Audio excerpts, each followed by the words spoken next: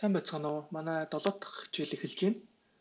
Аа өнөөдөр юу үзэх вэ гэхээр та нар санаж байгаа бол 2 дахь хичээл дээр data types өгөгдлийн төрөл гэдэг нэг хичээл үтсэн тий. Тэрэн дээр хэдүүлээ яасан гэхээр нэг int гэдэг бүхэл тоо зарлаад а гэхдээ одоо чинь энэ int гэсэн төрлөөс надаа олон хэрэгтэй бол яах вэ гэдэг талаар ярьсан шүү дээ. Тэгэнгუут одоо юу надаас эндээс 10 хэрэгтэй гэх юм бол ингээ зарлцаж болдог. Тэгээд энэ тгээс эхлээд x 9 хүртэл утгууд агуулдаг. Тэгээ энийг ерөөсөө юу гэж нэрлээд байгаа вэ гэхээр array гэдэг байгаа. А монголоор болохоор хүснэгт гэж орчуулад авах шүү гэсэн. Ямар ч Мойсийн багш нар бол тэгж орчуулад авах шүү гэсэн.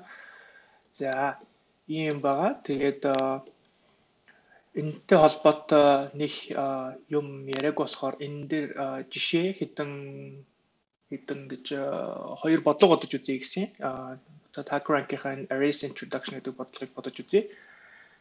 За энэ болохоор array гэдэг юмныхаа юу вэ гэдгийг сая миний тайлбарлсныг тайлбарлсан байна. За энд болохоор бодлогын өгүүлбэрийнх нь өгүүлбэр нь болохоор n гэсэн тоог өгдөнө. А дараа нь дараагийн мөрөн дээр n ширхэг зайгаар тусгаарлагдсан бүхэл тоонуудыг өгдөнө. Аа Э-ийнх нь утга нь 1-ээс 1000-ын хооронд а энэ элемент толгойных нь утга нь бас агуу 100000 минь 100000 1-ээс 100000-ын хооронд За тэгээд юу хэвлэх ёстой вэ гэхээр print the n integers of the array in the reverse order in a single line separated by space гэж байна. Аа уншсан тоонуудаа аа байрын солиод Тэгээ хамгийн сүүлд байгаа элементийн хамгийн ихэнд нь дараагийнхын тэр дараа гэх мэтчлээ. За энэний кодыг бичих гээд үзье.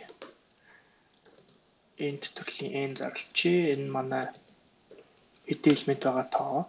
Одоо болохоор numbers гэдэг тоонууд гэдэг юм array зарлчээ. Бид нар хэдэн ширхэг integer бүхэл тоо хэрэгтэй гэхээр n ширхэг хэрэгтэй те.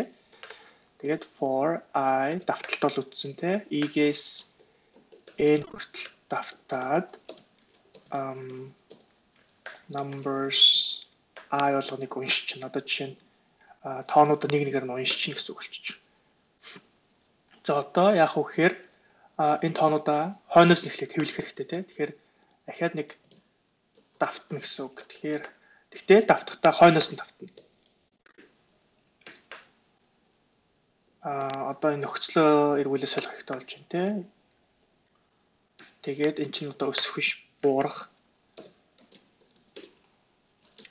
үед тоогоо хөвөлчин тэгээд зайгаар тусгаарлагдсан гэсэн. За энд нэг асуудал гарч магадгүй. Гэхдээ яг хуу үзэгдхий.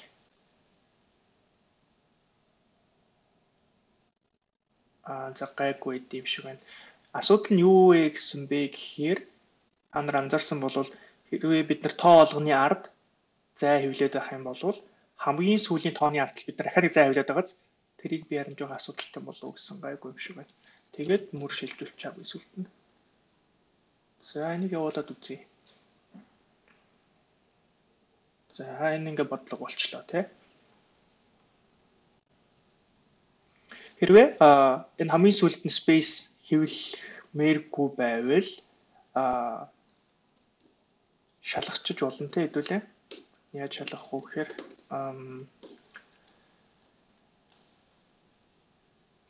А энэ хамгийн сүүлийн элемент гэдэг чинь манай тэгдүгээр элемент дээр хамгийн сүүлийнх нь болчихж байгаа байхгүй тийм. Тэгэхээр тгээс ялгаатай үед бид нэр энэ зайг хэвлэнэ гэх. Тэгэх юм бол хамгийн ардталт нь а зай хэвлээд байхгүй. За за энэ ингээд нэг array-тэй дасгал байна.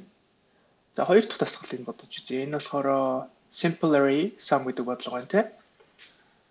Given array of integers find the sum of its element.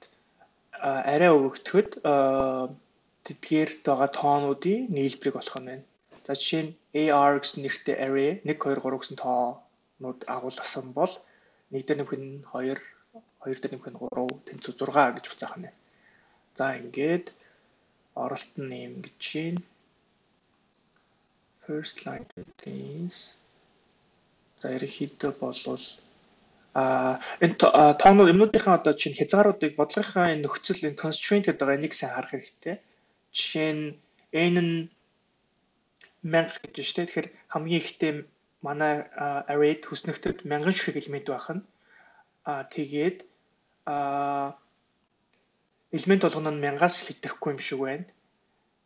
Тэгэхээр юу гэсэн үг вэ гэхээр манай нийлбэр хамгийн ихтэй 1000 ширхэг 1000-ыг нэмэхэд манай боломжит хамгийн их утга гарч ирнэ те. Тэгэхээр трийг ямар төрөлтэй хувьсгчд хадгалах вэ гэж бодох хэрэгтэй. Аа тэгэхээр 1000 ширхэг 1000-ыг хадгалахаар сая болно. Тэгэхээр ерөөхдөө энд дотор багтчихин гэсэн үг болчихж шүү дээ. За энэний кодыг бичиж энэ яагаад юм сүнэн байна.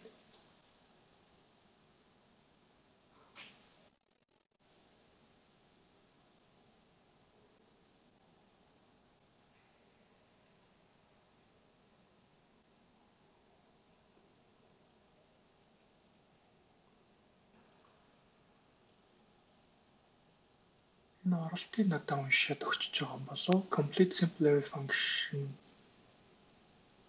Below за JSON юм байна тэ зүгээр өөрийнх нь кодыг оруулж ирж байгаа бичиж үзье. За энэ зарлаа түрүүний шиг адилхан штэ. Гэтэ яг энэ бодлогон дээр бол заавал ингэж array enter зарлаад байх яг үнэндээ нэг хэрэгч байхгүй юм шиг байна. numbers i одоо тоонууд нийлбэр болох гэдэг шүү дээ. Sum тэнцвүүдийг ихний утгыг өгчий. Тэгээд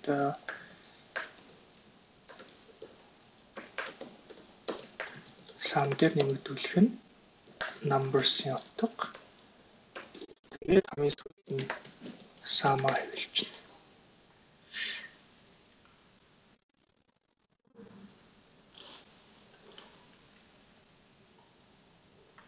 Энэ болцсон юм шиг байна те. За явуулаад үзье.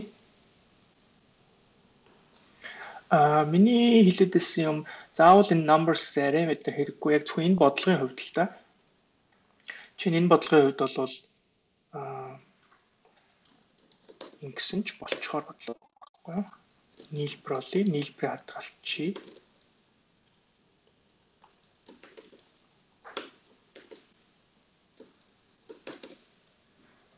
Хадгалчий. integer төрлийн temporary гэсэн нэг тоо зарлчихэд temporary-га гараас уншчихъя.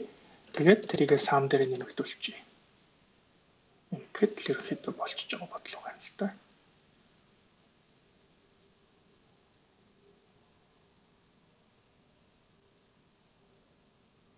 Гэтэ яг ерөөхдөө энэ бодлогын өөрийнх нь зорилго нь болохоор array ашиглаж тэрэн дээрээ дасгал хийх байсан болохоор арай ашиглаж бодлоо. Гэхдээ ерөөхдөө бодлогыг бодох маш олон аргууд байгаа гэдгийг эндээс одоо харж болно тийм.